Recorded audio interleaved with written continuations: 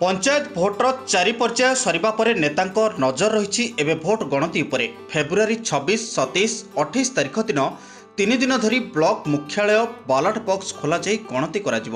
ପ୍ରତି ବ୍ଲକ ଅଧୀନରେ ଆସୁଥିବା ଜିଲ୍ଲା ପରିଷଦ ଜୋନ୍ଗୁଡ଼ିକୁ ତିନି ଭାଗରେ ବିଭକ୍ତ କରାଯାଇଛି। କ୍ରମିକ ନମ୍ବର ଅନୁସାରେ ଗଣତି କରାଯାଇ ଫଳ ପ୍ରକାଶ କରାଯିବ। ଆସନ୍ତୁ ଜାଣିବା ଏହି ଗଣତିର ପୂରା ପ୍ରକ୍ରିୟା କିଭଳି ରହିବ।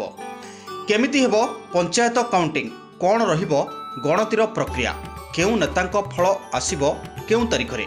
ଚବିଶରେ ସରିବ ପଞ୍ଚାୟତ ନିର୍ବାଚନ। ଫଳାଫଳକୁ ନେଇ ନେତାଙ୍କଠାରୁ କର୍ମୀଙ୍କ ମଧ୍ୟରେ ବଢ଼ୁଛି ଉତ୍କଣ୍ଠା।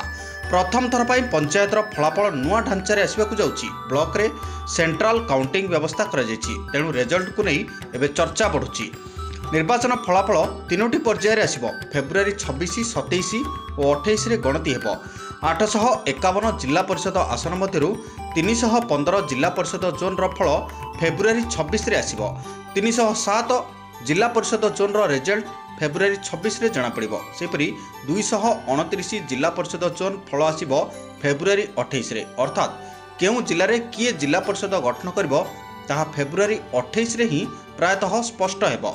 ନଜର ପକାନ୍ତୁ ବାଲାଟ ବକ୍ସ ଖୋଲିବା ଠାରୁ ଫଳ ଘୋଷଣାର ପୂରା ପ୍ରକ୍ରିୟା ଏଥର କେମିତି ରହିବ?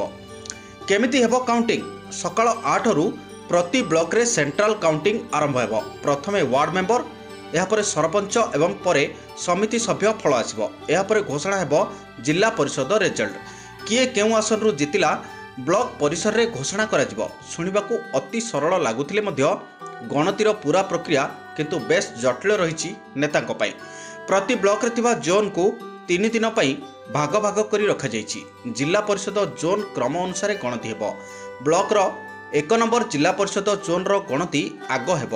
କ୍ରମ ଅନୁସାରେ ପ୍ରଥମ ଦ୍ୱିତୀୟ ତୃତୀୟ ଜୋନ୍ର ଗଣତି ହେବ। ପନ୍ଦରଟି ବ୍ଲକରେ ରହିଛି ଗୋଟିଏ ଜିଲ୍ଲା ପରିଷଦ ଜୋନ୍। ଯେଉଁଥିରେ ଦିନକରେ ଗଣତି ଶେଷ ହେବ। ଦୁଇଟି ଜିଲ୍ଲା ପରିଷଦ ଜୋନ୍ ଥିବା ଶହେ ଛବିଶ ବ୍ଲକରେ ଦୁଇ ଦିନରେ ଗଣତି ସରିବ। ତିନିଟି ଜୋନ୍ ଥିବା ଶହେ ପନ୍ଦର ବ୍ଲକରେ ତିନି ଦିନରେ ଗଣତି ସରିବ। ଯେଉଁ ବ୍ଲକରେ ଚାରିଟି ପାଞ୍ଚଟି ଛଅଟି ଲେଖାଏଁ ଜୋନ୍ ଅଛି ସେଠାରେ ଗଣତି ଅଲଗା ଉପାୟରେ ରହିବ। ଚାରିଟି ଜୋନ୍ ଥିବା ପଚାଶଟି ବ୍ଲକ ପାଇଁ ଭିନ୍ନ ମାଧ୍ୟମ ଆପଣାଯାଇଛି। ପ୍ରଥମ ଦିନରେ ଗୋଟିଏ ଲେଖା ଦ୍ୱିତୀୟ ଦିନରେ ଦୁଇଟି ଜୋନ୍ର ଗଣତି। ପାଞ୍ଚଟି ଜୋନ୍ ଥିବା ସାତ ବ୍ଲକରେ ପ୍ରଥମ ଦିନରେ ଗୋଟିଏ ଜୋନ୍ ଫଳ ଆସିବ। ଦ୍ୱିତୀୟ ଦିନରେ ଦୁଇଟି ଓ ତୃତୀୟ ଦିନରେ ଦୁଇ ଜୋନ୍ର ଗଣତି ହେବ। ଛଅଟି ଜୋନ୍ ଥିବା ବ୍ଲକରେ ପ୍ରତିଦିନ ଦୁଇଟି ଲେଖାଏଁ ଜୋନ୍ର ଫଳ ପ୍ରକାଶ ପାଇବ।